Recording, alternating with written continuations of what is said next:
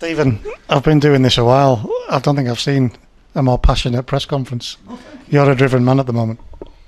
Listen, I, get out of my bed on, on Monday morning. And I can't wait to get in here. That is the truth. Make no mistake, I, I'm not, this isn't show bravado. I couldn't wait to get in here because I'm passionate. I have a belief in my work. I have a belief in everything that I do, and it'll come through. That, I'll never lose that belief, and it'll come through. And I don't think we're far away also from being a good team. Sometimes through bad results, you lose sight of certain things. Not me. I'm not losing sight of many things. A very powerful message you've given to the other guys here today about the fact that you you feel you want more time because the 12 weeks hasn't been the correct opportunity for you to, to put your messages across. Uh, no, what, what I'm saying is that the results need to be better. Million percent. I accept that. But to judge me as a manager, whether I'm the right man, is ludicrous because I haven't implemented many of the aspects of my managerial ways. I haven't had the opportunity to address fitness, which I think is the biggest aspect of any team. The biggest aspect. Then, when you can you can do everything that's asked of you physically, then there's no compromise when it comes to the tactical elements. You can carry out all the tactical elements with ease because you physically are there and your decision making becomes better, your concentration becomes better. All of these aspects become better on that one aspect alone.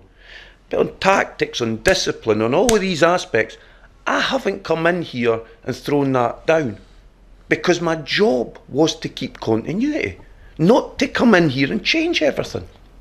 And in time, I might need to change a lot of things because this club has been in this division for five years, which is five years too long. And I have to be part of the programme to get us out. And I'll do what it takes. If it's not this year, one million percent, I will do what it takes.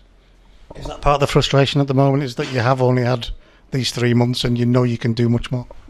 No, it's listen. I came into the job aware of the situation, so I'm not. There's no grumble from me. The fans can do what they wish to do. All I'm asking of our supporters is get behind this group of players. No distractions for 90 minutes. If you're not happy what you see, give me abuse after the game, right? give me abuse when I come and applaud you. No problem. That's part of it. It is a big thing, isn't it? Because we've seen it when these fans get behind the boys, it's powerful. Of course, it's powerful. And they need it just now. They need it. You can see the weekend. We play really well. We get a setback. We come a little fragile. Normal when you're not on a good run. Normal. This is when we need the Carlisle supporters more than ever. More responsibility on the older players looking ahead into these next six games?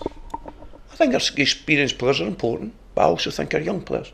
I think we all have to take responsibility on these moments, and it can't just be our senior players. They have to drive it, but our young players also have to take responsibility. When you put the strip on and you go out on that field of play, you have to take responsibility. You mentioned deliveries into the box being a weakness on Saturday. Bury, it's part of their play. They get it wide and get it in. We'll have to be on it. A million. That's a big part of it. As I said, T. Adams is the highest assister in the league, and that's from that area delivering balls in.